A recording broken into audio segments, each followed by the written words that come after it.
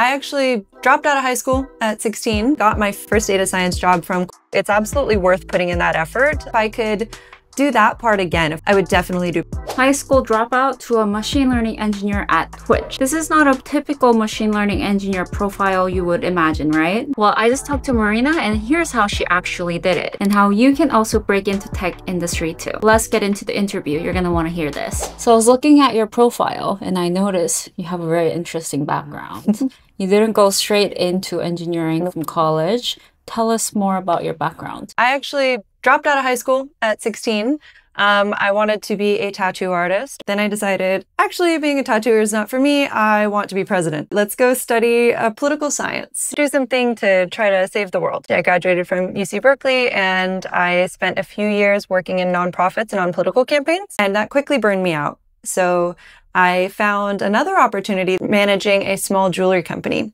But at one point, it was time for the next phase of my career and I didn't know what to do. So I got my master's in public policy. At that time, I had never coded at all. I had no idea that data science or machine learning existed. And it was just kind of by happy chance that I fell into some courses at that program that were focused on statistics and coding with R and machine learning, um, all of this kind of like core data science skill set, but with a social science tilt. My first job after graduating from my master's program was just at a small data science firm in Berlin. I studied in Germany. And really, I was focused on like just pure data science at the beginning it was again another kind of happy accident that I fell into machine learning uh, because my first data science job back in the US happened to be machine learning focused. During the course of that role, I discovered that I actually really love doing production work. And I got more and more and more into the engineering side of things. Seven year journey from a completely different background, lots of twists and turns, but made it here and uh, I've been really enjoying it since then. You literally discovered things by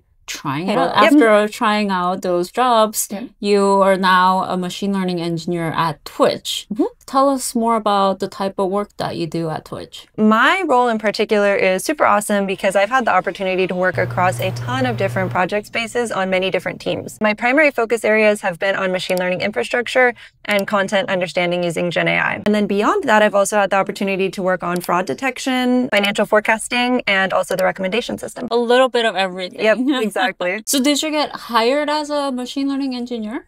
No, I was hired as a machine learning focused data scientist, but it turned out that my existing background and my skill set was really more aligned with a um, machine learning engineer. So it was kind of just an, an, example of how these titles can be very ambiguous and very different across companies. Just made a video about how once you're in tech, mm-hmm. the roles are very fluid. Yes. And I think more and more in the future, it's going to be even more fluid. Definitely. So we talked a little bit about the types of projects that you work on, but what is a typical day usually like for you? It varies quite a lot. So really depends on what phase of a project I'm in. If it's uh, early stages, then it could be a lot of meetings, a lot of reading papers, writing documents, just kind of doing the project planning side of things. In the early phases of actually doing the project, then I might have a data scientist job job for a while. So I might be doing just a lot of SQL, exploratory data analysis, feature engineering, experimental smaller scale stuff. And then at the point where I have a model working that I'm happy with, then I'm building the whole pipeline closer to software engineering uh, style things. And then after that, I might have another phase of more writing and stakeholder management. So it really depends on the phase I am in the project. So I might have a few hours of meetings and reading and then a few hours of coding and deep work in a given day. I think that's why it's so hard to explain the difference between data science and machine learning. Mm -hmm because there's so much overlap. And I think that also largely depends on the company because I've been a data scientist who did the end-to-end production work. And then I've also seen machine learning engineers who don't do any of the actual model development and just do the deployment or any kind of variety of uh, combinations of those things can happen too. That's a good point. How big is Twitch? About a thousand people, I think, yeah, time. Because I used to work at Meta, mm -hmm. um, I think the bigger the company is, the narrower your yes, scope yeah, is. I think so. so a thousand people is relatively small for a tech company, mm -hmm. and mm-hmm. that's probably why you do a little bit of everything. And we've been talking about how there's so much overlap between data science and machine learning. Mm -hmm. But if you were to have to differentiate the two, are they similar and different?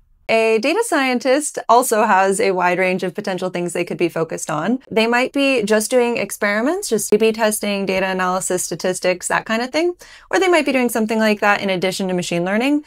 But in most cases, a data scientist will be working on smaller scale contained things. So they'll be doing a little bit more the strategic thinking and stakeholder management, and then maybe doing a little bit more of the model development in a notebook where they're really getting into the nitty gritty. On average, a machine learning engineer will spend less time on the details of the model and more time on the systems around that model. For the difference between machine learning engineer and AI engineer is a machine learning engineer would train models from scratch and an AI engineer would not. Typically, a machine learning engineer would potentially be also working with pre-trained AI models, but they would be maybe building a model using your own user data to try to predict fraud, for example.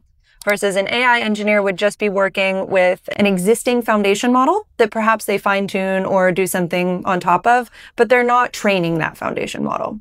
So that's the difference that I've been using. I like that because I recently did an analysis of mm-hmm. all the skills that are required for machine learning versus AI versus data science. Mm-hmm. And I noticed that the skill set asked for in machine learning and data science is uh, more narrower mm-hmm. than AI because for AI engineering, you could be asked for anything, right? Yeah, definitely. Number one question that we get often is like, is AI going to replace us? What do you think? I mean, it's a big question uh, that I honestly don't have an answer for. I think there definitely is risk. I don't think that that risk is coming tomorrow. There are really smart people on all sides of this opinion. So there are people that are completely legit who think that next year we're going to have AGI, everyone's going to be out of a job. Then there's people within that group who think it's going to be utopia and people who think we're all going to die. Even in that group, there's already a difference of opinion. And then there's other people who say, yes, but over the course of a couple of decades, we're going to see a slow transition. And then some people who think we'll never have truly disruptive AI. So I'm not 100% sure where I fall on that. I would say probably towards the probably not next year, probably not never somewhere in between. So we, we talked about all the different definitions and whether we're going to be extinct or not. For people who are interested in breaking into these roles, what's your recommendation? What should they be studying? I think it depends largely on what skills you already bring. So if you are brand new as students, I think the very first things that I would prioritize are how to code. Actually, even though we have a lot of AI coding tools, I think this is a really fundamental skill that you're probably still going to need in some way for a long time. And learning how to code is great because it gives you a lot of potential avenues to explore if you find out machine learning or AI isn't for you. There's still a lot of things you can do with that skill set. That's where I would start. And then I would prioritize building things as soon as possible. Build some little models, even just in a notebook to get started, and then find things in your daily life that you want to solve. A problem that you could build a little mini app to solve in your own life. That would make an excellent project. Starting with the practical machine learning skills after you have this, this foundation. And then after that, you can get more into the math and the theory.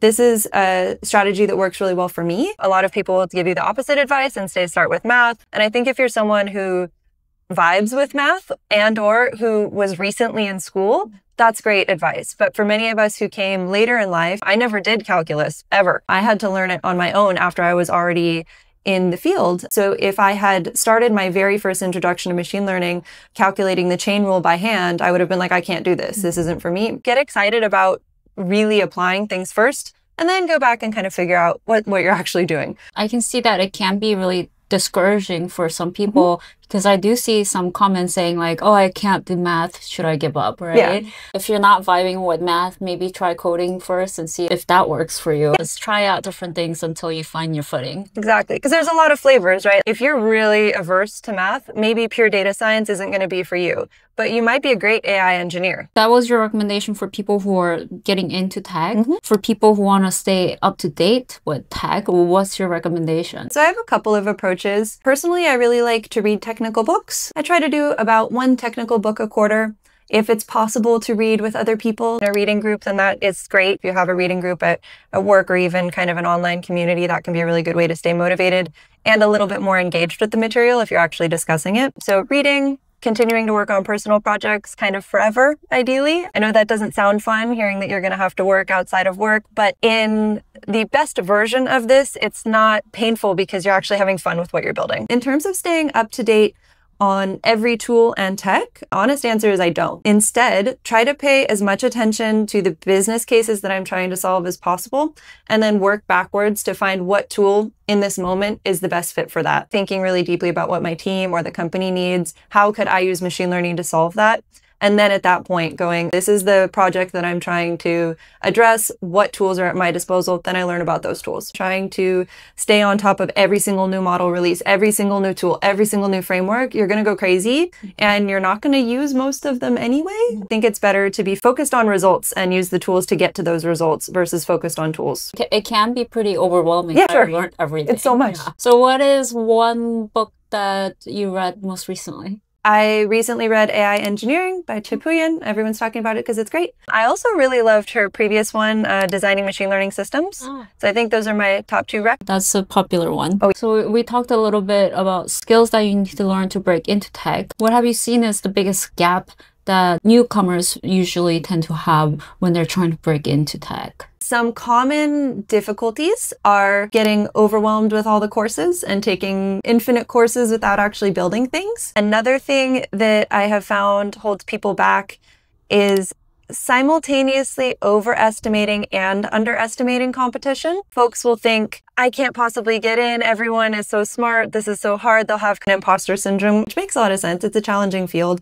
But they think everyone who works at big tech is some kind of genius and they couldn't possibly work there. And that's not true. There are a couple of geniuses, but most of us are not. Thinking that you're not prepared for something that maybe you actually could be. But on the other hand, not being prepared for how long it's going to take potentially to get that first job and how hard you're going to have to work. It won't be enough to just apply to a couple jobs on LinkedIn for 99% of people. You're going to have to go above and beyond with projects, with networking, with putting yourself out there, potentially working for free for a nonprofit or volunteering for a local business, whatever it takes to get that initial experience so that you are competitive.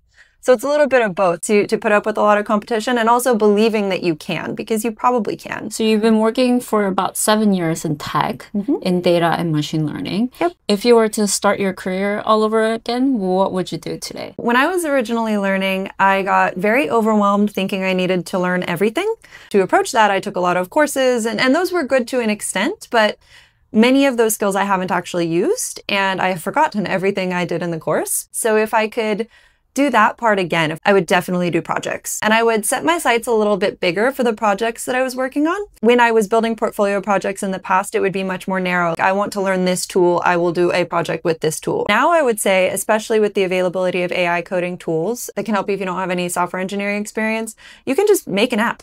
And maybe it sucks, that's fine. Think of something in your real life that you could improve in some way using machine learning and just build it. As you go, you will learn about each component way more in depth than you would if you were just reading or just taking courses. So you don't have to feel like you know how to do every single thing before you start that project. Just chip away at it bit by bit. I would also be pretty aggressive about networking. I actually got my first job in the field, my first data science job from cold emailing. I just sent a bunch of emails to companies that I thought could maybe have a data science team and everyone ignored me except one and that one turned into an interview, turned into my first job. I can attest to the power of networking and really putting yourself out there. It's incredibly uncomfortable, but it can give you outsized returns. And when I say aggressive about networking, I don't mean aggressively approach people, but I would be very consistent with reaching out to people as much as I could. The last thing is just to be optimistic because it's going to take a long time but the rewards are definitely there if you put in the time and effort. This is a really great, fulfilling career that